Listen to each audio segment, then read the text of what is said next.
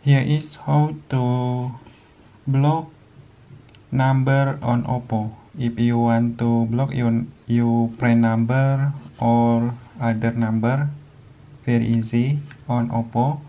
You can see phone apps like this on Oppo. Open phone apps like this. To set up, you can see three dot icon on top right and then you can see setting if you want to block number you can set up from block number here. And then you can block unknown number.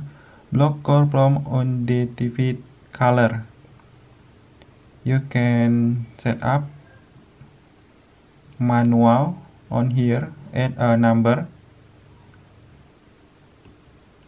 Add number phone number block call and SMS from number like this.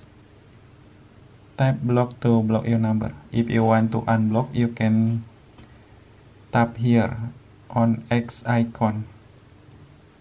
So easy